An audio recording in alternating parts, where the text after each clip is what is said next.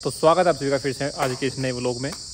भाई, अभी बरसात का मौसम धीरे धीरे आने वाला है और शुरुआत भी लगभग हो चुकी है। आज अपने उत्तराखंड में पहली बारिश हुई है और उसके बाद आप देखो मौसम कितना बढ़िया यहाँ का हो रहा है। देखने लायक मौसम, देखो।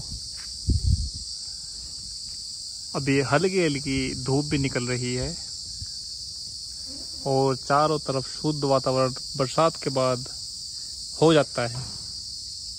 अपनी अंदर मक्की भी लगी हुई है। ये देखिए, जो कि खाने में इस्तेमाल की जा रही है। ये हमने अपने खाने के लिए ही यहाँ पर लगाई थी, जिससे कि इनको खाया जा सके। रेगुलर इनका रोज़ाना इनका सेवन कर रहे हैं,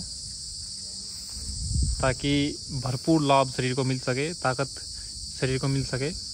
इधर अपनी सब्ज़ियाँ लगा रखी है, लौकी, तोरी, कद्दू, बैंगन, अपनी सब्ज़ियाँ घर की। इनका ही सेवन करते, देखो यहाँ पर धीरे धीरे अपना पेड़ भी धीरे धीरे बड़ा होने लगा है अब। और मौसम देखो कितना बड़ा ही ज़बरदस्त हो रहा है। चारों तरफ़ हरा हरा और देखो कितना बढ़िया मौसम यहाँ पर हो रहा है अभी। तो भाई, अपना यहाँ का शुद्ध वातावरण है, माहौल बड़ा अच्छा है। दिनचर्या अपनी बहुत अच्छे से चल रही है। और भाई भी अपनी दिनचर्या यहाँ पर सुधारने आते रहते हैं। उनकी दिनचर्या बहुत अच्छी चल रही है। सब परमात्मा कृपा है।